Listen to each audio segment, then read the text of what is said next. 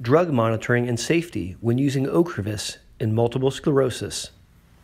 Aaron Boster here with the Ohio Health MS Center, spending a few moments talking about drug monitoring and safety when using Ocrevus or ocrelizumab to treat multiple sclerosis.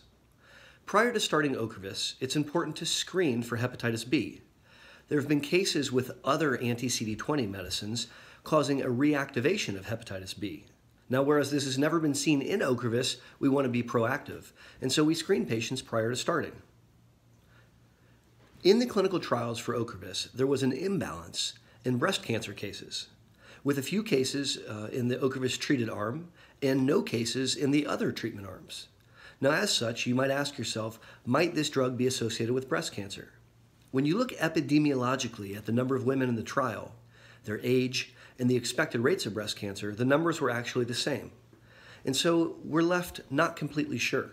It's my opinion that this drug does not cause breast cancer, and yet we don't want to be cavalier. And so we recommend that women taking Ocrevus do self breast exams once a month and have mammograms when it's appropriate.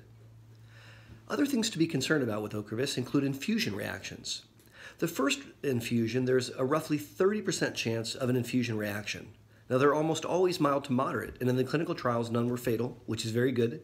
And more importantly, the second infusion on, the risk plummets down to 10%. And so infusion reactions are something else that we want to be sensitive to.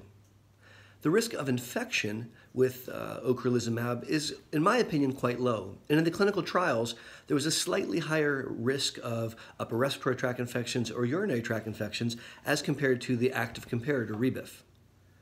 These are some of the considerations when using Ocrevus to treat multiple sclerosis. Again, Aaron Boster uh, with Ohio Health MS Center. Thanks for tuning in.